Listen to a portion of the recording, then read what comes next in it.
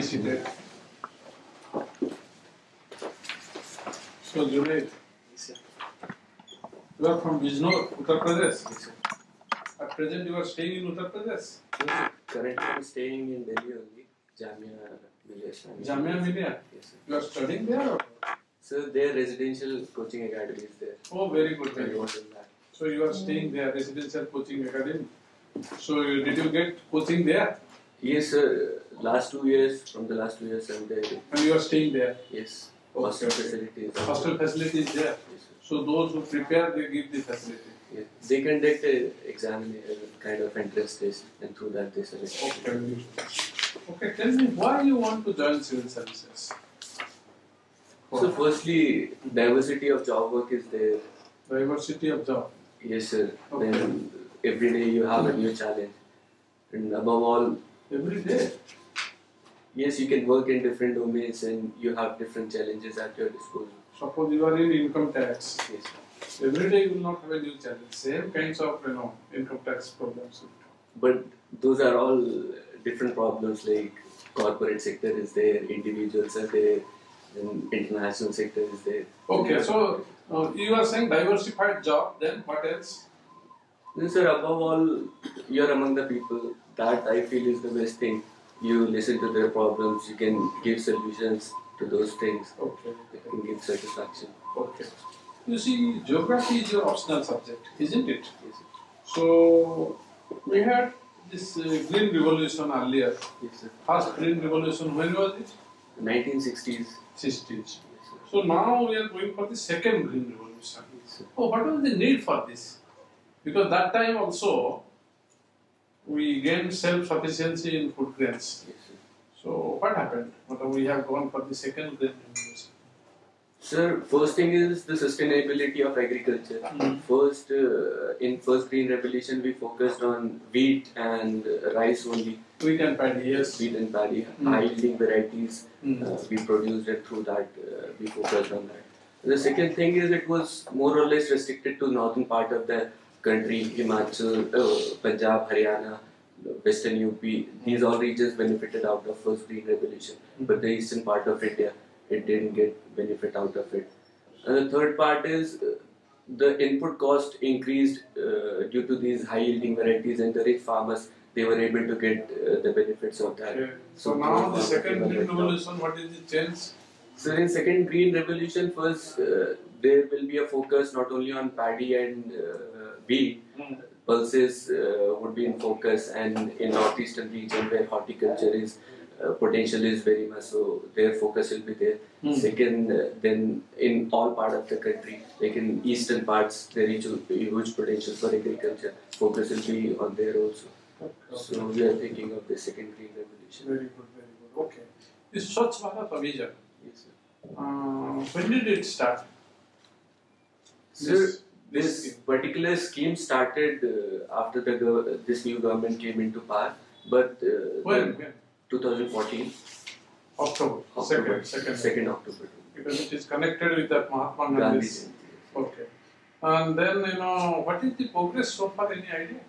Sir, in uh, quantitative terms, six crore toilets have been constructed. Mm. Sanitation in rural areas has improved from 39% to 79%, 78%. 78%. Uh, And uh, some above all the how, many, how many states, union territories have declared themselves open defecation free? Sir, three states have declared themselves open defecation free. Uh, two uh, more have been added. 11. 11. Okay. 11. And, so, uh, you are reading newspaper regularly? yes, sir. Regularly? Yes, sir. So, I will ask another because have you read then you would not have said three. It came out some eight, ten days back. All the papers. One big page advertisement. Huh? Okay. Corruption Perception Index. Who, who determines this? There is some uh, organization. Sir, it's an international organization, It is Transparency International. Very good. It So is- now they say that India has slided. yes, sir. You have read that? Yes, sir. 81st rank they give Hmm. out of 180 countries. Very good. Uh, then I have see. Now, what is most important, you know, budget scheme? Not uh, it is there for some time you know, for employment generation, rural employment generation. Uh, so engineering is there. Ah, yeah, uh, yes. That is there for job employment. Uh, What else? No, no, actually, I was integrated. So you said it's also there, so I, anyway.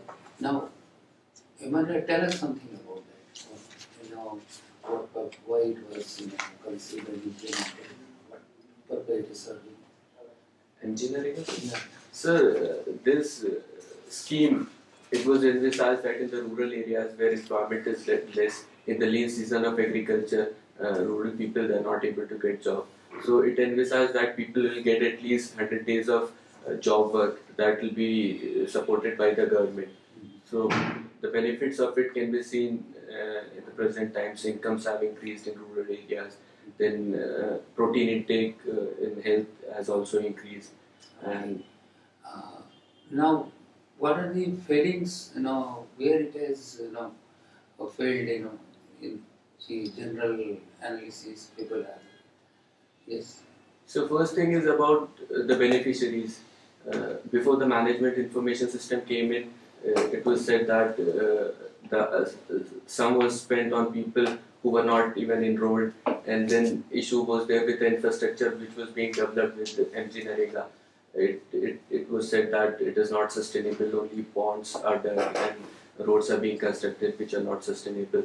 Yes, So sustainable or uh, it was not there? What is what is Sir, in main- sustainable means what? in many cases, uh, like uh, there was a news in that uh, one toilet or something was constructed and, uh, and it was shown as uh, three in numbers. Three roads lead to the same infrastructure and they have put it uh, as three infrastructure is completed. So cards also, job cards. job.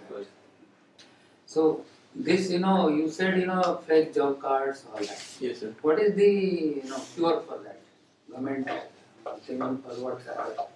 So recently the government came with uh, management information system is one thing which they came with. You told us. Then second is Aadhaar, uh, which they came up with, so that uh, exclusion of beneficiaries could be avoided and real beneficiaries can get. Okay, So these two things are there. Um, biometrics, uh, introduction of biometrics, cash DBT is also there. Now, your hobby reading books. Yes.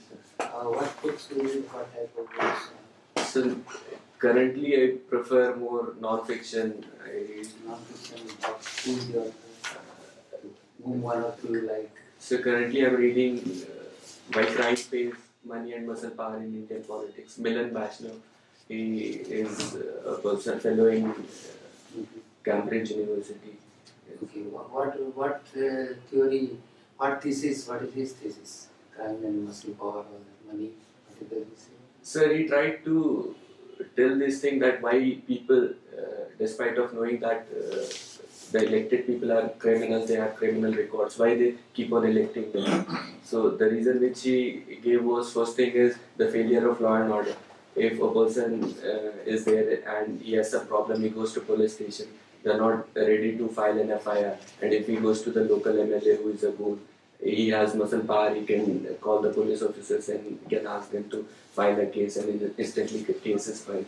So people think Uh, you think it is uh, whole can go out of the system or what? The, is there any specific, you know, inherent limitation? Yes, simple. Is it? You think you know this money and uh, muscle? yes. It can go out of the system or it has to be accepted as you know for some time at least as part and you know, part of the social or system. What do you think? Sir, it's there. These problems are there in the society, but uh, they can be. These problems can be removed. Like muscle, money power is there. If election finances can be made transparent, if there is a cap on uh, the funds which the parties can raise, and if uh, they bring their uh, books under RTI, these things can be solved. And muscle for muscle power, there is a need to ensure law and order situation in the state. This will improve the situation. Yeah, you have electronic sales right? Does the government of India have an electronic policy? Yes, sir. Electronic manufacturing policy is there, uh, which came in 2000. Uh, so I don't exactly know the year, But but anyway, are we a net importer or exporter of electronics? so we are net importers, but we have this target in the digital India of uh, having zero percent imports. What, what kind of strategy would you advocate boosting exports of electronics? So the problem with electronics is we don't have the infrastructure. Like uh, if we talk about the chip industry, we don't have that. For inputs, we have to import it from countries like Korea, Japan, US, who have technology. So government came up with cluster methods of building chip industry, but it didn't take off. So I think there is a need to promote that. Then MSMEs are there in the country which need support of the government in this sector. Those MSMEs also need to be promoted. So in this way we can improve the exports. You can, what is the exact um, value of export today in electronics? Okay, you student of geography also is also on subject, right? How many coastal states we have? You belong to UP. UP is not a coastal state. please not So how many coastal states we have? Can I count? Man, don't keep the target. Gujarat, Goa, Maharashtra. Now, tell me one thing, you know, you have been saying that there's a flip side to why people prefer of civil service and all that. There's a flip side also. In the sense that you also have to prepare to go to jail. Yes, yes. You know how, uh, how many people have gone to jail for the various reasons. Yes, yes. Who are they? So there is a case going on. Bureaucrats? are you talking about? Yeah, I'm talking about the, There is a case the going on. the coal, Coal secretary. Yeah. Uh, So that's also possible. Yes, sir. Sir, but uh, you have uh, standards of procedures, you have all the laws, you have the constitution. If you go according to that, I don't think. No, no, I think the coal secretary from also people say has also gone by the, the rule book and everything, that procedure. Sir, But but there is a flip side to it also. So anyway, what I'm trying to say, judiciary getting into the executive decisions, policy decisions, challenging them, and making this, uh, making the civil servants responsible for that is a risk in the process of, in this process. yeah. But that's how life is. So, but uh, the coal secretary, it is alleged that uh, corruption was going on under his nose and he didn't do anything. Keeping quiet is also a crime, so because of that, he had to pay for that. Well, you have to think very, think very highly of it. Good that uh, you are thinking like that. Okay. Uh, Junaid, uh, you have done electronics and communications, right? Yes, sir.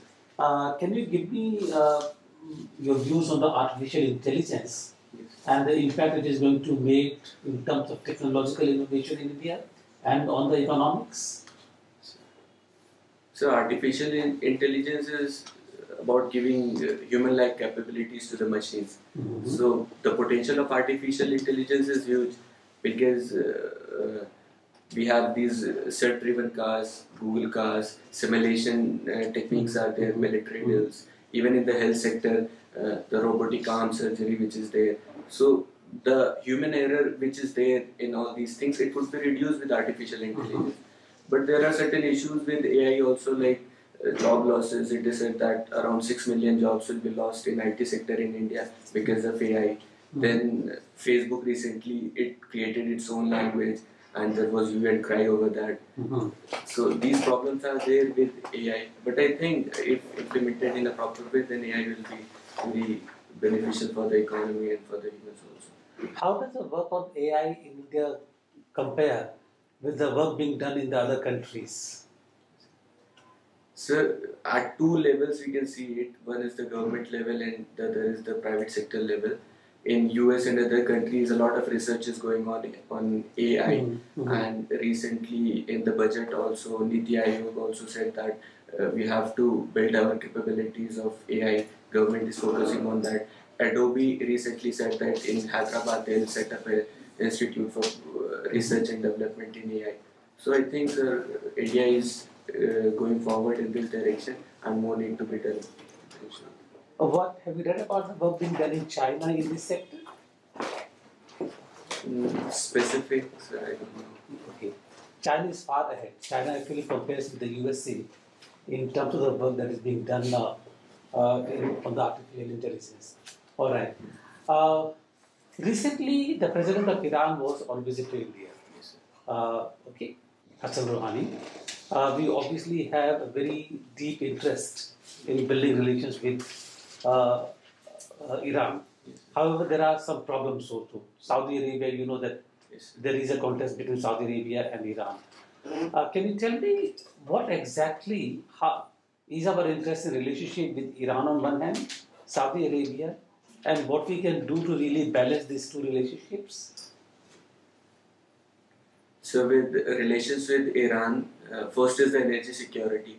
Uh, we are net oil importers, and Iran has huge uh, reserves of oil. So we can uh, have energy security, having good relations with Iran. Second is the connectivity. Uh, Mhm. Chabahar port is there. We are developing that port in that region so that we can bypass Pakistan and get access to the markets of Central Asia and in that region. And stability of Afghanistan, security concerns that can also be balanced if we have good relations with Iran. Uh, with Saudi Arabia, there is a regional conflict. Uh, Israel is also very much angry to uh, Iran, so we have to balance our relations. Like we have de-hyphenated our policy with Israel and Palestine. Can you tell me about our relationship with Saudi Arabia first? What is our interest in Saudi Arabia? So first, uh, the diaspora is there. Mhm. Uh, Seven million diaspora in West Asian region, and a lot of them are working in Saudi Arabia. Mhm. Around 70 billions of remittances we get from that region. So first we have uh, this interest. Second, uh, energy security. Uh, Saudi is also a provider of oil to India. And third, if we say uh, FDI, because uh, in Saudi Arabia a lot of capital is there, and uh, Prime Minister as well as the government is promoting so that uh, uh, investment can come up from that region. Mhm. And defense sector also we can improve because India and Saudi Arabia they are net importers of defense equipments, largest importers, first and second largest importers of defense equipment. So we can have. Uh, so how do we improve our defense cooperation? So we only, only if we are the first and second largest importer. So there are certain areas where India can uh, export defense equipments to Saudi Arabia uh, because uh, we have our own uh, indigenous defense Have you actually read it somewhere or you are just speaking out of your own uh, thinking? So I'm there. I'm Okay, it's not true. Anyway, preface, leave the first out. Okay, anyway, can. And So, huh. last is uh, I'll say the security concern uh, Mhm. about how to tackle Pakistan because Saudi Mhm. many a times comes on the side of Pakistan. In Maldives also it is said. Yemen is uh, very close to Saudi Arabia. So these issues are there with So, how do we balance out the relationship between the two? Because Saudi Arabia and Iran, they actually cut against each other. So first thing, first thing is I think uh, India should not meddle in the domestic uh, politics of all these countries.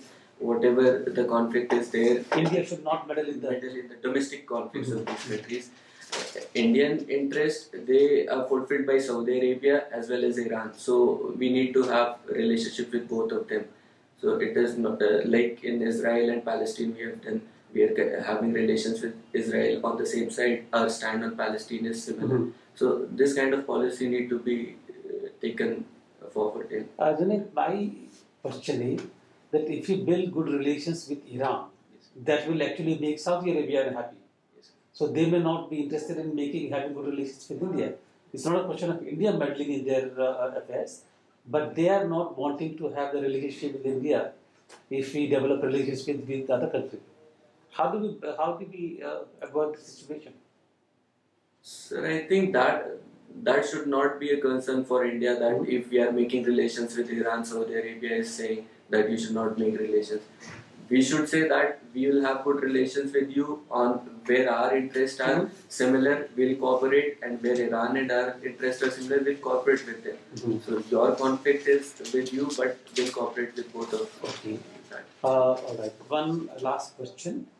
Uh, US, our relationship with US is growing. Uh, there is some feeling that it's actually growing so fast and we are becoming so close uh, that it actually is hurting us. Yes, sir. Sir, in the recent times, with the Trump administration, a postal bond army can be seen uh, the Prime Minister. So it is being said that Russia, which is our all-time uh, friend, they're thinking that we are going too close to US. But India has said that uh, the interest which US can fulfill, they cannot be fulfilled by Russia. So we have cooperation in defense, in technology, in IT sector, and with Russia also we have bought certain helicopters and we are having certain uh, defense agreement with Russia. So this problem is there, how to balance uh, the relation with different countries. But I think uh, what we are doing is uh, right with the foreign policy perspective because national interest come, comes first. All right, thank you. What is net neutrality? What does it mean to a layman? So net, net neutral. Sir, it is about uh, the the data which is being transferred. It should not be discriminated. The ISPs which are providing the data, uh, it need not to be discriminated, and with equal speed, with equal uh, rate, it should be given to the uh, end consumers. That is net neutrality. Has the issue been sorted out, or is there still something pending to be discussed on that? Sir, the policies of free basics and uh, Airtel Zero, those were scrapped, scrapped because uh, the government said it violates the principle of net neutrality. But the contours of net neutrality are very broad because ISPs they usually say that whatever the earnings are there, they go to the uh, website owners. And for us to build infrastructure and to build uh, and to give connectivity, we need to have money. For that purpose, they say that uh, this can be justified. So these are issues that Why did BlackBerry close its operations in our country? Is there any reason? Sorry, sir. No idea. Okay. You must have heard of the bullet train. Yes, sir. So how do we justify because the now basic safety and basic uh, uh, number of coaches as well as you know amenities are lacking. Yes. So how are we justifying bullet train? Sir, in the short term, these issues are there of safety, speed of the trains, collision system, anti-collision system. But if we have to keep the long-term perspective, we have to invest in those initiatives. Like uh, when India got independence, everyone said that why we are going for space uh, industry, but we are reaping the benefits of it nowadays. So we have to keep a long-term perspective uh, so that we don't lag behind when uh, all these things come in the future. Okay, what is your view on the cryptocurrency? So most of the countries have banned this cryptocurrency. Uh, even our finance minister said that it is like a Ponzi scheme because no, uh, ca- no investment is there, no capital is there for its backing. I think uh, it is right, and but blockchain technology, which is there behind uh, cryptocurrency, that can be utilized in many. Is there a ban? Has any country banned it? China has banned it. South Korea uh, has also imposed restrictions on it. But What is the what is the harm? Sir, laundry, mm, black money could be used in this, and the laundering can be done. And other than that, security issues are there. Uh, a virtual currency, if there is a cyber attack, that currency can be gone. And above all, there is no backing, no physical asset is there in that currency. So it's an issue. Okay, there are a lot of suicide among young uh, school and college students nowadays. Yes, sir. So what is the reason and how we can uh, bring about a reassurance to them? So it can be related to juvenile delinquency. I've read, like uh, if family pressure is there, fightings among the families there, or we have nucleated families where uh, parents don't interact much with the student. Then in the college and universities, pressure, uh, studies pressure is there, peer pressure is there. Many of the students are on drugs because of these things. Unemployment is one reason. So these all are, things are the reason behind suicides among the youths. 12th class students, uh, they're uh, doing suicide, so it's a big concern, I think. What is the role of Competition Commission of India? What does it do? Competition Commission of India ensures that uh, just competition is there in the market. like uh, monopolies are not created, trust should not misuse, like acquisition happens in order to eliminate the competition. Those things should not be there, and they ensure that uh, proper competition is there in the market.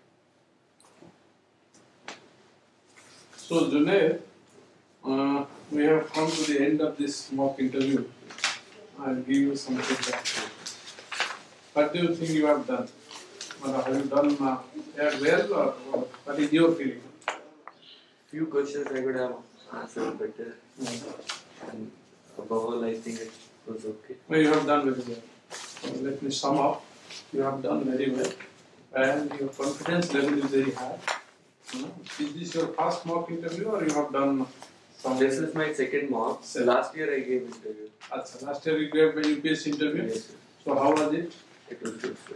I didn't get marks in these. In, in mains. Otherwise, in, in interview your marks was good. Yes. How much? 182. sir. Oh, very good marks. So this time also, what I find, we find that you are answering with a positive, with a positivity, and uh, your approach is uh, very good. Um, you see, we because of paucity of time, we didn't ask some questions on your state Yes. uh, and district. So there might be some questions prepared uh, on Bijnor, then Uttar Pradesh. You know what are the strong points? What are the issues? Um, there are communal classes at times. Suppose you are posted as district magistrate, how you will, uh, what steps you will take to prevent such communal incidents? Uh, then you know this uh, farmers' law, uh, this uh, loan waiver. Yes. what is your view about it? Prepare in some such, you know, these are some of the state related questions. Okay. Your hobby is reading books. So my colleague asked you what book you have read. Last they might ask you that, that kind of question. What is the last book you have read or which book you like? Why you like it? Huh? Who is your uh, you know, who, author? Which author you like most? Huh? And uh, name some of the books of that author. Or like that. So hobby, state, and also your subject. Now you know electronics and communication. Some questions were asked on uh, artificial intelligence and other things, but be prepared for some other some questions because they might ask on. Uh, mm, mm, so many questions could be asked. Mm. So, and then current affairs. Current affairs, you get majority of questions. Huh? And if you are reading newspaper, if you are keeping yourself up to date with everything, Indo-US relations, then Maldives issue, then all this visit of the Iranian president, then this Canada, Prime Minister of Canada, all this, huh? uh, Asian countries, India's relation, uh, look east, northeast, Yes. there was a question asked that how uh, you know, northeast is related with Act East policy. Ah, so like that, you, you might be seeing the Transcript. transcripts. You have seen them. Yes, a few of them. Ah, so it is like that only. So prepare accordingly. They might ask these questions which you already you have read. Only thing is that you should prepare how to answer within a limited time. Yes. You don't have to write an essay there. So within you know one minute or one and a half minute you have to answer a question. Ah, so you prepare accordingly. And uh, you have already done well in the last video. This year also we hope you will do extremely well. You go with a very positive mindset and I think you will do extremely well. Ah, Prepare. Be alright. Thank you. Don't forget to like, share, and subscribe to our channel. And press the bell icon to never miss an update.